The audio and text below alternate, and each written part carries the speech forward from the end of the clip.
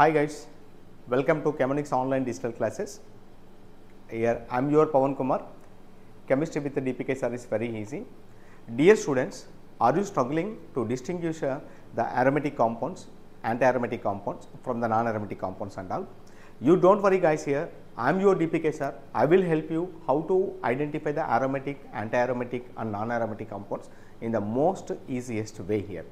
Okay, let us see without wasting our time, okay, uh, what are all these types of the compounds here. Dear students, my kind request, please be focused to listen the class here.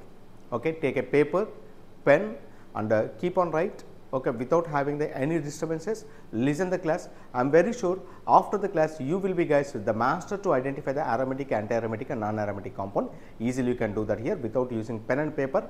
Okay easily you can answer within 5 to 10 seconds. Okay let's see how to do this and all here. So for that first you need to know some basic information